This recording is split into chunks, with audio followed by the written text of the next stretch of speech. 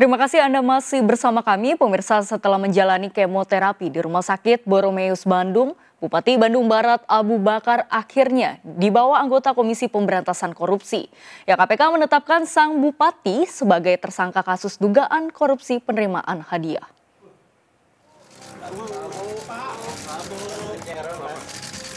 Setelah menjalani pengobatan kemoterapi selama lebih dari enam jam di ruang stroke unit intermediate care Rumah Sakit Boromius Bandung, Bupati Kabupaten Bandung Barat Abu Bakar akhirnya dibawa petugas Komisi Pemberantasan Korupsi KPK. KPK tetapkan Abu Bakar sebagai tersangka dalam kasus dugaan korupsi penerimaan hadiah atau janji. Selain Abu Bakar, KPK juga menetapkan tiga tersangka lain dalam OTT pada selasa kemarin. Tiga tersangka lainnya, WL Kadis Perindustrian dan Perdagangan dan ADY, Kepala Badan Perencanaan Daerah Bandung Barat.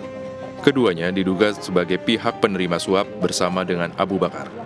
Sementara tersangka lainnya yaitu AHI, Kepala Badan Kepegawaian Bandung Barat, diduga sebagai pihak pemberi suap. Dalam operasi tangkap tangan ini, KPK mengamankan barang bukti berupa uang dengan nilai keseluruhan mencapai 435 juta rupiah Uang tersebut diduga digunakan Abu Bakar untuk membiayai kepentingan pencalonan istrinya yang maju dalam pemilihan bupati periode 2018-2023. Saud Situmorang mengatakan uang tersebut juga digunakan untuk melunasi jasa lembaga survei politik. Uh, secara keseluruhan KPK mengumpulkan barang bukti sebesar 435 juta. Konstruksi perkaranya